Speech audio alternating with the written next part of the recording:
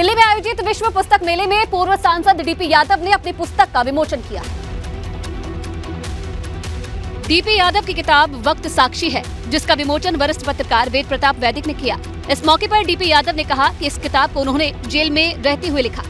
वक्त के मिलने की बात है कि जहाँ आदमी को चिंतन करने का, विचारों को ताकत देने का मौका मिल जाए, वहाँ उसको अपनी लेखनी के शब्दों को लिख करके समाज तक पहुँचाना चाहिए।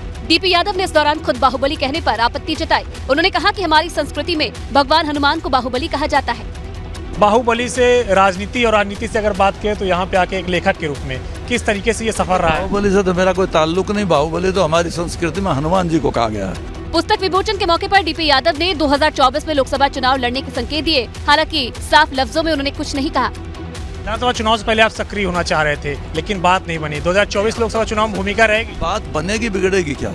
वो तो जब हम मैदान में उतर जाएँगे तो उतर जाएँगे। फ़िलहाल सबकी नज़र डीपी यादव के अगले कदम पर है।